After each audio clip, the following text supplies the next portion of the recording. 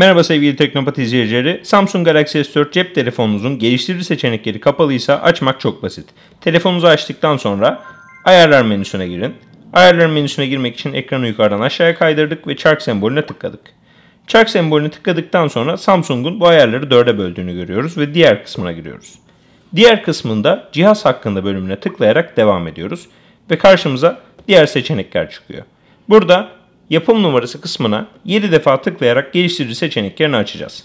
1, 2, 3, 4 adım uzaktayız. 4, 3 adım, 5, 6 ve 7. defa tıklayarak geliştirici modunu etkinleştirdik.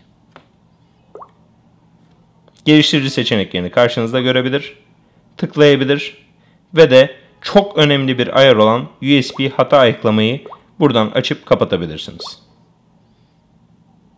Bizi izlediğiniz için teşekkürler.